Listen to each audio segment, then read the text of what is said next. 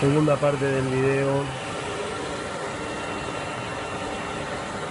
De este bombón de Malasia que hace una forma de taza.